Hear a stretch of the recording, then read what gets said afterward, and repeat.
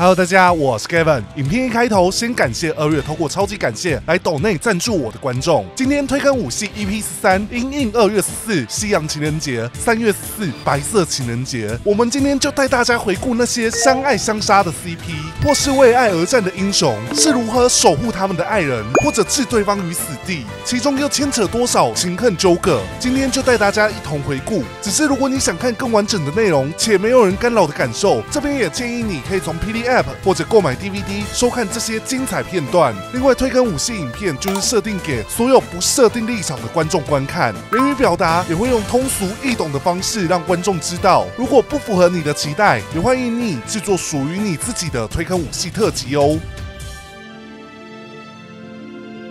在霹雳武林，除了为爱一日三千斩的狂刀，因爱而狂，我想继狂刀之后，大家一定会想到这个为爱疯癫的人称行不阿明 （A.K.A. 人生胜利组）的樱川蝴蝶君。说到他的爱，基本上大多人只记得他轻松诙谐的一面，被公孙越整得有多惨，观众就有多爱。但是在这么轻松的故事下，公孙越有多悲伤，隐藏多少心事，作为男友或者老公的蝴蝶君，基本上都能感受得到。剧情随着公孙越的兄弟。波尔海五人组纷纷殒命，深受打击的公孙越自责无法为兄弟周全，在悲伤同时又有十日仇家寻仇而来，公孙越逐渐无法压抑杀心，幸得蝴蝶君及时阻止与承担，执意陪伴公孙越走过血腥江湖路，使这段平时轻松的爱情故事也添上一些感动成分。因为蝴蝶君终究是最懂、最了解公孙越的人，哪怕他也偶尔会因为直男的基因而惹怒公孙越，但这些丝毫不影响。彼此之间的爱。在后来，公孙越遇见被古皇控制的东方鼎立，被其暗中下蛊，误杀护军卿。蝴蝶君为替公孙越顶罪，成为武林人士讨伐对象。在此刻，蝴蝶君为爱大杀四方，以杀手本能对决夜啼鸟。孙子的声音在吹乱的风中，照吹敌人的魂魄，突然相安的惊。卖大叫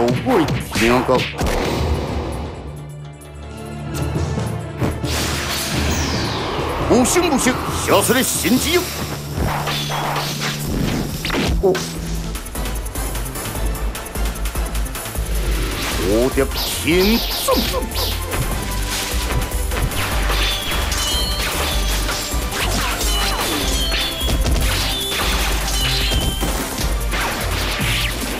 惊傲兄弟，我的本心的武器，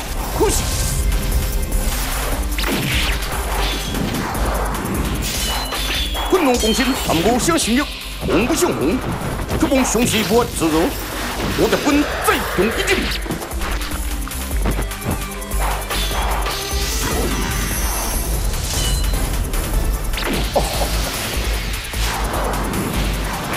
最高端的杀手，拥有十手的技艺，我的本竟也渐渐落入自己的血癖之中。这战哪怕蝴蝶君对敌的人都如同杂鱼，但是情势与剧情的安排都合理化。蝴蝶君不断负伤，多出一招多换一招，不断诱战，不断的进逐，让观众不断为蝴蝶君感到危险。负伤情势有多不妙？当时刀戟看母入抢先看，多次将蝴蝶君营造的有可能死在当时的剧情。你要成功的失去，你失了就滚去回应该行。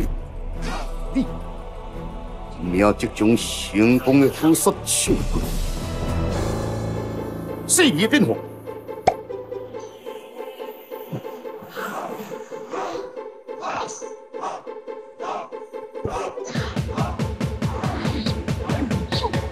伊甚至要发出死接金无声，非常难以想象，迎接的杀手心机拢真重，在刺激中。我是故意中招，要杀一个人，一定要让他无任何反击的能力。我的本万恶都灭，血战天火，多流天中中中。要相信天中之威，一秒之速，我的斗气竟已将其几经化消。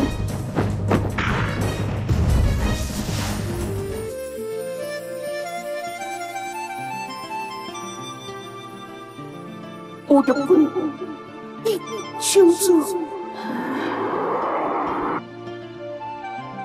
我盼着你及时出现，我望着十几年来，你爹目死，大爹剩下你的性命，消失因为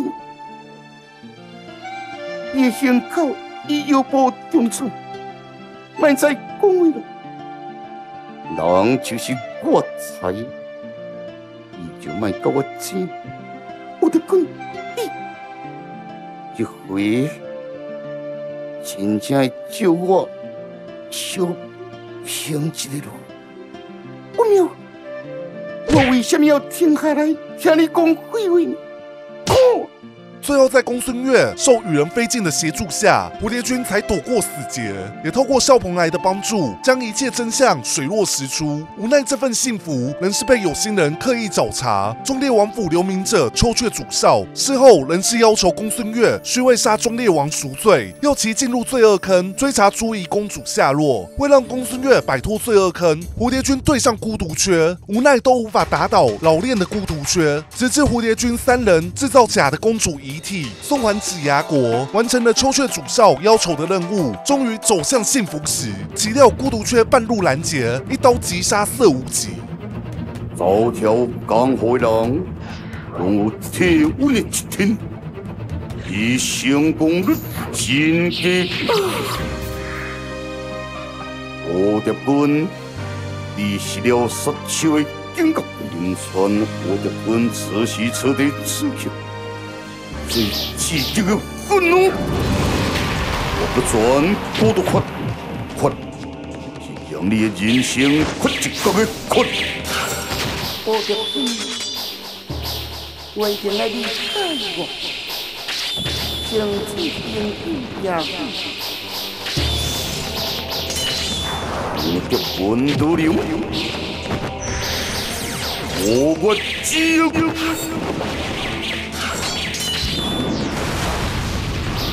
看到这里，应该很多观众都跟我当时心情一样。编剧让情侣让这些可爱的角色好好的退隐，有很难吗？尤其色无极当下真的撞死身亡，蝴蝶君为了报仇疯狂攻击孤独缺，欲使出禁忌之招黑蝶时，被公孙越及时阻止，却在一时分神，孤独缺侧刀一击，使公孙越当场断气。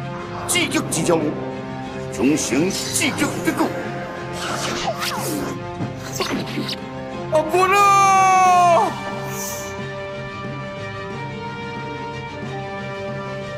以前你用计时来阻止我，这种不好，我未再受骗。今啊，你再给我一声光调，今啊，再还我一声新花面，今啊！黑蝶北域的传说，在当时都对蝴蝶君已然不重要了。在羽人飞进愤怒对决恩师之中，突然的彩蛋揭开一切，乃是孤独缺的安排，以刀气封住两人气脉，造成假死现象。唯有死亡才能躲过罪恶坑的追击。在那之后，三人一同回到蝴蝶君海外的故乡，安然退隐。而在现实生活的十几年后，蝴蝶君再度出现武林。这时候，他不止娶了公孙月，还多了一个上辈子的情人蝶小月。两人一同。武林冒险，就在蝴蝶君带着蝶小月剑随风等候公孙越回归。返回的蝴蝶号竟只留昏迷不醒的谭无欲。在谭无欲的告知下，方得知公孙越现为四流岛。在蝴蝶君等人的努力下，终于再会化为黄泉熟叶姬的公孙越，并将之救出。但公孙越却受血染影响，失去记忆。在幕后黑手的阴谋下，岛内舆论处处针对公孙越，让都城不得不对其进行公审。爱妻心切的蝴蝶君带着公孙越杀出重围。好过了，让指挥强暴。好过了，准备将金不让凶狠。啊啊啊！好过了，我。小命算什么？甲阮经历过难关比起来，你算什么？接要相形。哦，结束了，相当平顺，变调之法，瞬间扭转战局。恭喜！就在蝴蝶君为救公孙越对决八部众之一邪域冥王时，蝴蝶君备受控制的公孙越重创，在被邪域冥王请作处理献祭，复活八岐邪神。为护妻小，蝴蝶君终于使出十几年前无法使出的劲招黑蝶。曾经我答应过你，绝对别再用这招，因为这是我曾经的欲望，是你将我从欲望中救回，但比起失去你，我宁愿再沉沦欲望之回。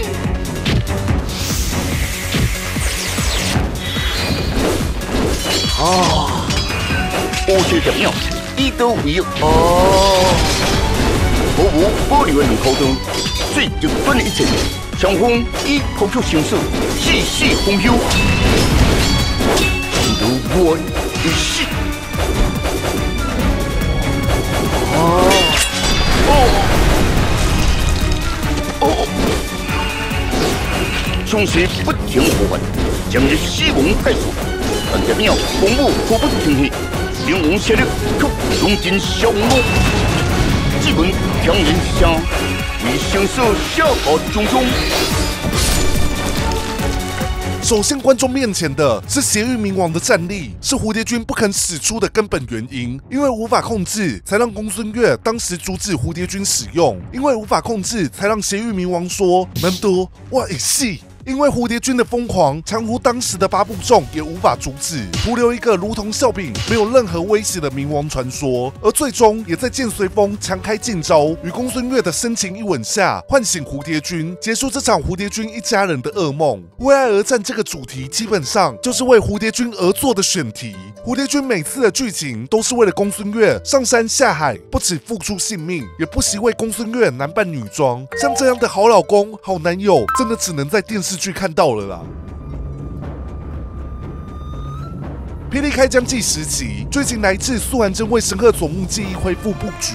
定禅天内记忆恢复真挚关键，定禅天外一生回顾，侠心或有沉浮，仗剑波澜壮阔，心中既已有了想安稳守护一生之人，那退隐前的终章自要交付给可以信任之人。一剑横立，一夫挡关，横风即无踪，手持疾风，江湖无踪，无踪挥洒无踪。东瀛大军或有数万，但三尺秋水是不可越过的生死险关。哦，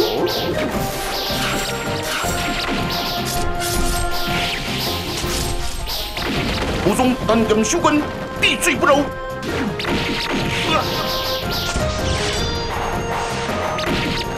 无踪剑法的分手。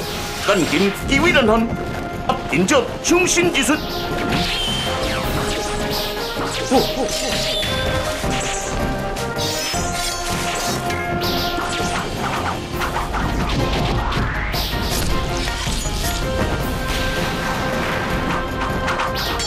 多处英雄血流不止，武中有人共称无敌意、无退缩，定义之际，用东洋大军一时相。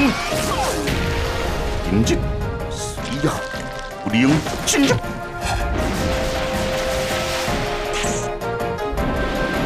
大军无用，那就以强胜强。燕宁大府、神风营、风雪夫妻档三名高手，两种控制：一者周身粘液，一者风雪寒气。心怀无宗剑法破绽，及武宗难以为继。即便风雪寒刃穿身，但傲骨不倒，剑骨不屈依旧。驻地的剑，人化雷池分明。但最后的闯关者龙斋死三界，心中赞叹，脚步未停，同样透析无宗剑法破绽，面上龙情闪烁，手中龙刃两分，状态的差异。对敌手的了解，种种差距，终在急招之后，即刃透体而过。帝王之术，武宗有清秀，变破天阵。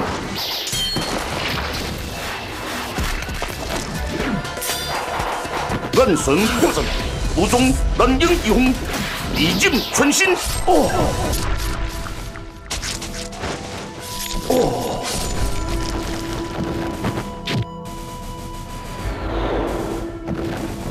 这一战作为神风营三名将领龙灾、深仓会马以及朝日雪鹰的出道战，拍摄上把三个人的武学都呈现的超有特色，像是风雪夫妻档那个边撒狗粮边夫妻双人转的招式，或者龙灾有慢到快的脚步，都可以看到拍摄上真的很用心。但倒下的躯体却不能阻碍思念。如果无宗剑法是无所牵挂，方无所顾忌的极端，那在这之上就是有所牵挂，方彻底超越的巅峰。再难压抑的思念，化作无宗涅槃一剑，既被透析又如何？纯粹强大的一剑，可斩天地。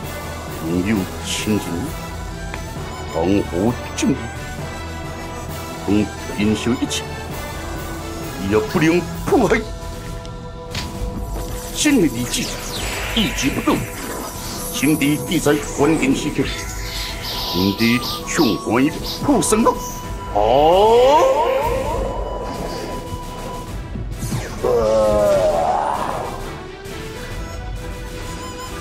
一空一敌之故，无法看清眼前事，缓缓苦地，意识江湖不灭，反了一步。金贵啊！金贵，金贵啊！终在关键时刻，神恶佐木恢复记忆，救下吉无宗。虽然那个当下，虽然那声真鬼啊，真的很害怕，直接喊死吉无宗，但还好，吉无宗最后还是有好好的跟于婉儿、跟布拉希退隐。这一战作为吉无宗退隐前的最后一战，虽然很有用神恶佐木取代吉无宗的感觉，但是吉无宗毕竟新生退隐，这已经算是老员工离职前最后的贡献了。而且这场武戏的节奏感真的很好，从一开始的回忆至杀爆小兵，再到剑法被看穿居于劣势，最后再舍命的一击，完全把这个人气角色的退场规格做好做满。而且剑法被透析，也是一个算是能让人接受，不会觉得吉无宗太被新人拿来练等的。借口，然后今天我们就当吉无宗再也没出来过了啦，好不好？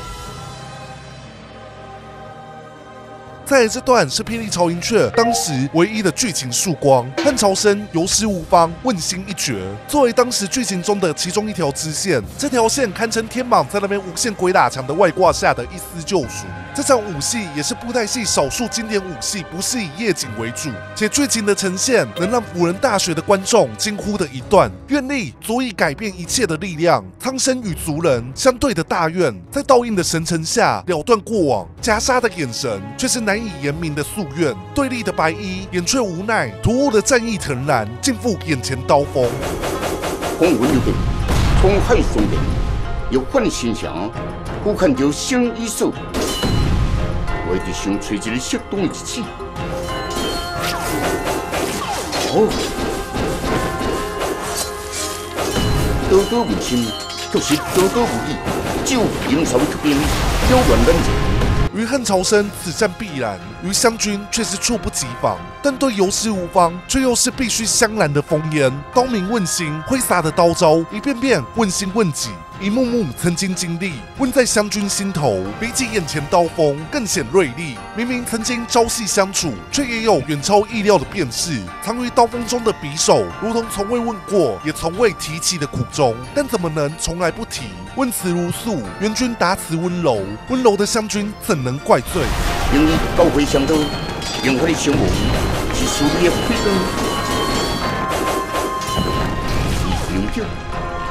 阻止不了我，为何事到如今，手下的战斗心如烈火？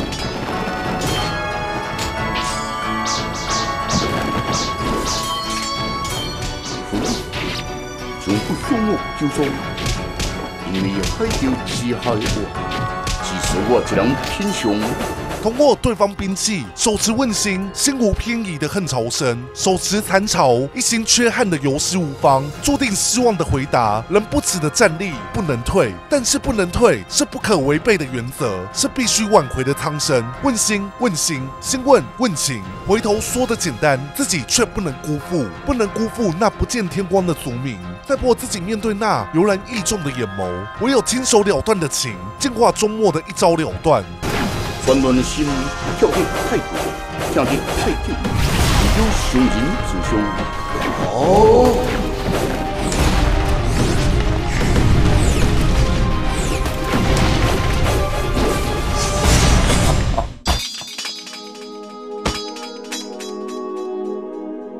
断情、断义、断续、断网，不至半瞬的交锋，只闻一声刀影，想得足够按下翻涌的过往，甘愿倒下的人，只为本不该却必须的背叛做出交代，只为让挚友能够安心做出最符合本心的抉择。长渊元君无憾而终。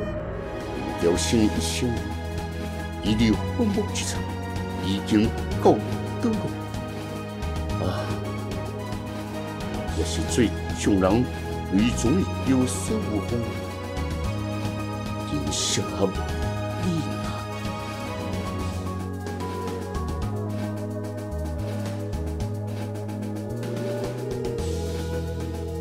这场武戏除了是朝林的代表高规格武戏外，我最推这场的原因，除了很有创意的拍摄之外，最主要仍是配乐的选用以及旁白的功力。这场旁白是继冰封诀之后对决武戏中我最喜欢的一场戏，从口白的描述再到两人的对谈，都超完美展现两人身份的冲突。再配上那个宿命之诀的 BGM，完美的展现了长渊双军的无奈，以及游氏无方与恨朝生的不得不为。而且从刀里抽匕首，以及拨动琴弦般拨动刀刃伤敌，都是虽然以前有过，但用的当下还是会觉得，哎呦，这样很有创意的做法。总而言之，我不管，最后他们一定有亲下去，至少编辑超级坚持，他们一定有亲下去。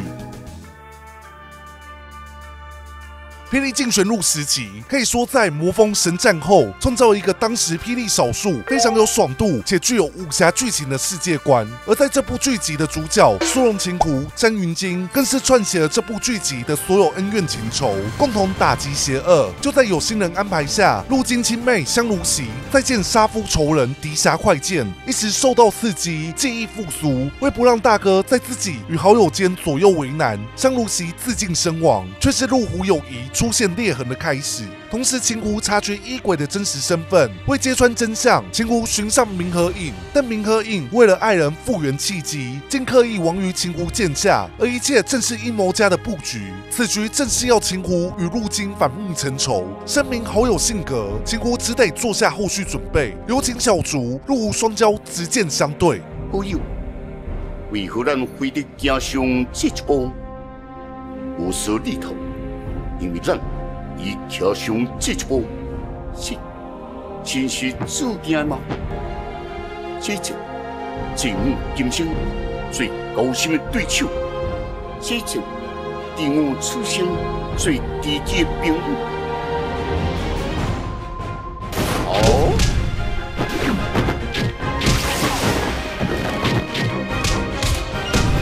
过去有多位人，此刻连阮都上人。哦，这件陆金领礼球，护中手，连续精神之色，北红江湖不面香。哦，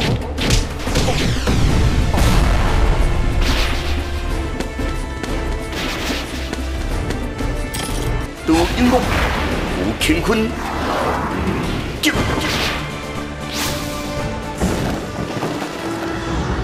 好，金虎金风木歌者，好，精通三声，完成一项惊喜。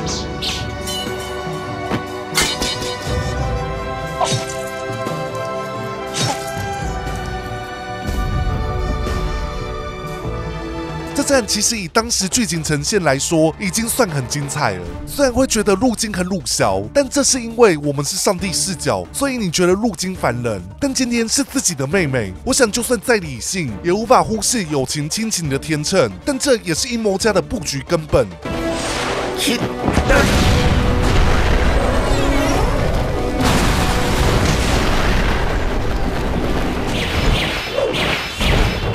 尽管作风协调，无奈独立独行，面对汹涌杀敌，张文金虽敢得意之算，却不能不将这天意。一路迢迢破开眼前，遭遇四国相争，又可共同面对，双人今夕敌军变命，却比国军当西。哇！哦。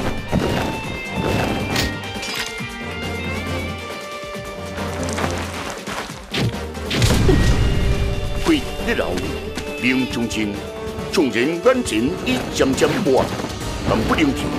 一旦停下脚步，就是终止所有可能。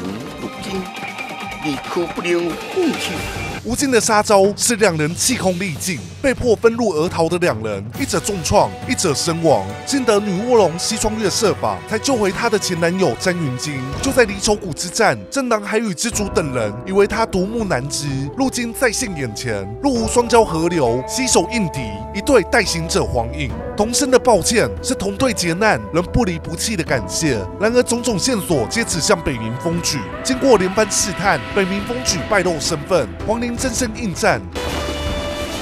真心急迫，老祖现身，最不愿承认之真相，却是真如数量不明风纪各地相交，又是飞扬不平，毫无气足之枪。如今，你忍心伤及这副躯体吗？再有分凶。我必再用情，哦，心念一坚，再问以是何光强劲，如何心领神会，合是高山流水，出尽惊空一搏，顿时一路繁辉，片杀天虹。忽悠啊！一马入酒，也是这副躯体比较自在，痛脚很急。气眼如利，安全这个人不能留，不该留。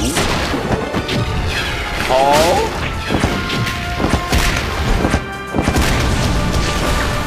正会人夫模样，仿佛兄弟一灵之间。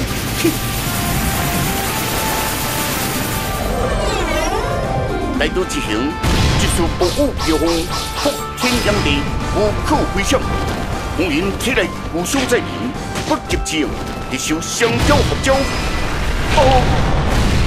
然而黄陵创伤复原速度使多重布局也无奈他何。在此，入无双骄进入天窍修行。就在黄陵一路前行，欲往天一深水破坏天窍，正道群侠布阵以待，首要风云儿领官以突袭与机关探寻黄陵死穴之处。金光如来自在菩萨，天佛地高顶回的将。千军同万马，天地同宽。接瞬间，突如寒星，红颜一时失足，心情消沉。铁天秋地星红天，好。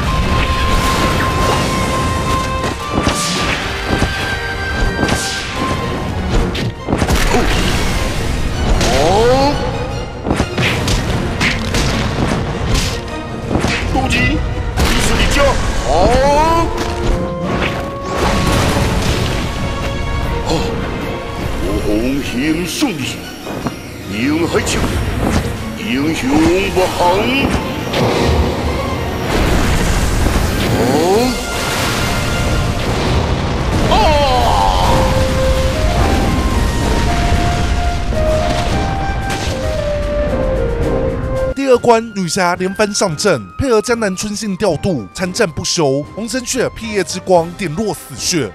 好。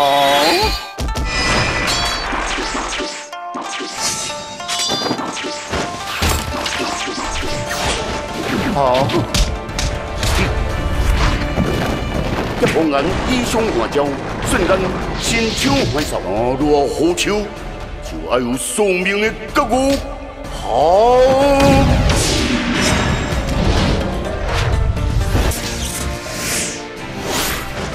四处众人只求显英清透，不义牺牲，全英无极当个评委，就定一算无寸。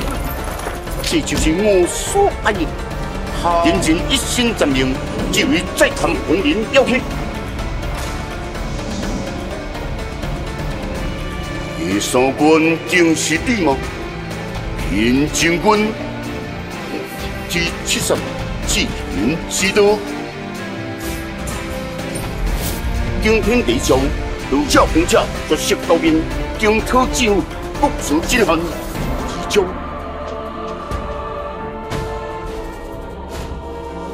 全不休。你。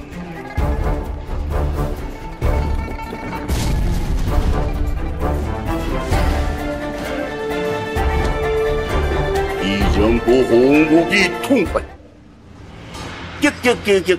天地动用的中招，现人军不惜六九之魂，也要守护天桥到最后一刻。现人军，战至如今，罗红深深为您不得，天河一路金，不堪重任吗？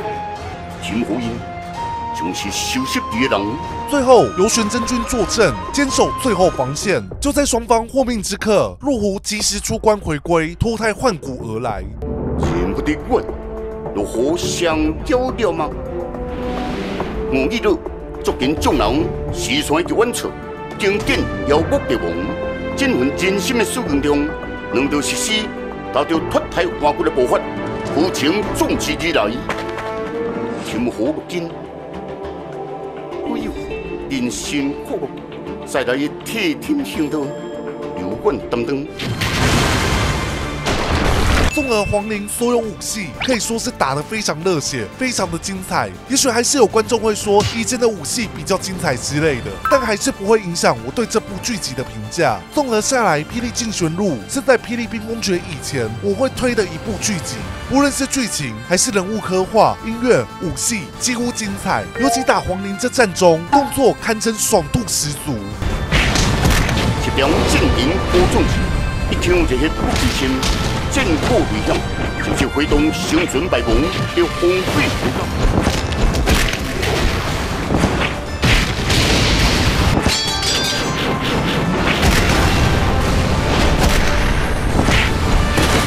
快意如风，凌厉似电，攻势密密之心。江阴之间，红人有了反击。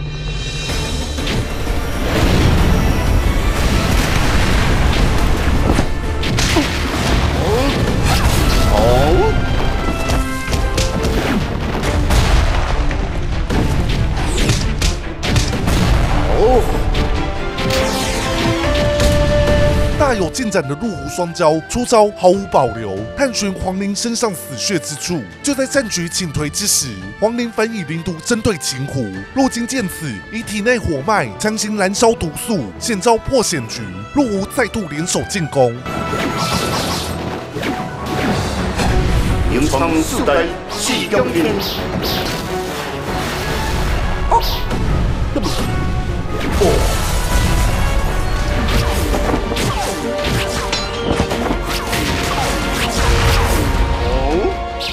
人一波平千里，为求是故四虎山。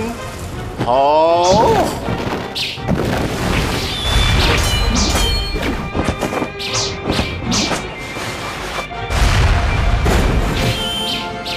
这便是用武则性，红人之出。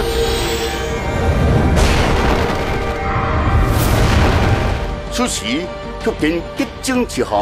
因救援以足现因功，再来一比武戏，人的相夹，上演最后上路。最终一刻，若无查知死穴，等待关键时刻，黄陵再度进攻之刻。意外的一击，相对要穴才是真正的死门所在。水龙引擎一击命中，反手一剑诛灭黄陵。好，战绩就看，相提并手。关手夺剑，一剑贯天弓。哦，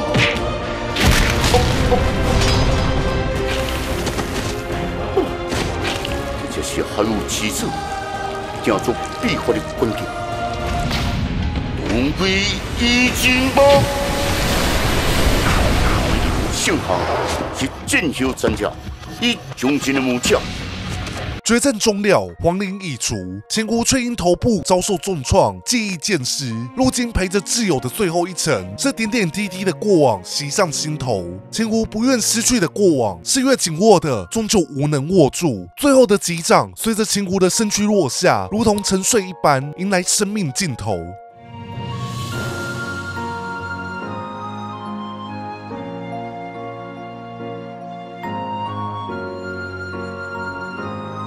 清风忽悠，我爱山，而你爱河，你讲过，你爱看，江河无海，无无庸庸。这次我以你，你沉睡人生，是一段不断冒险的过程。无冒险，就看不到最想见的风景，听不到最真心的笑声。因我一年人生，比较像一段不断告别的过程。路途中有个人，只会陪伴你走过一段。人生熟悉如烟，但我再怎样，也无想与你相依为路。所以，就算再痛苦，我也要为你奋命一搏。那代表咱至少也是朋友，因为再也无任何痛苦，彼此上与你相处，毫无。是不是觉得突然被送了一记洋葱呢？这段可是频道的阿 T 近年来最爱的一段，而之后我们有机会再做相关的人物特辑或是感人专辑。再带大家回顾鹿虎双骄的经典身影，而今天特辑回顾完这些武戏，还有哪些纯爱战士必须入榜？也欢迎留言跟我们说。下一次的推坑武戏是逢清明年假，我们就再做一次壮烈退场武戏 Part Two。这次盖文一定会记得让范海惊鸿入榜。至于还有哪些你心目中的壮烈退场名场面，也欢迎大家先参考推坑武戏 EP 十一，再来跟我们一起分享提案给我们知道哦。而影片的最后，也感谢这些加入会员的牛头大军。如果如果你也想一起支持我的频道的话，现在也可以通过资讯栏的网址加入会员哦。那今天的影片就到这边喽，我是 Kevin，大家拜拜。关闭影片前，这些影片你都看了吗？另外跟大家提醒，我们的 Podcast 已经挪到听你在那边盖的频道喽。未来所有关于布袋戏闲聊的 Podcast 都会在这个频道里面呈现哦。我们会在每周日固定晚上八点更新，不定期会开启首播与直播，欢迎观众朋友一起上线聊天，一起把我们所有的频道订阅起来。如果想抖内一起赞助我们的朋友，朋友，依然欢迎透过超级感谢我是盖文的频道哦。那今天的影片就到这边喽，我是盖文大家拜拜。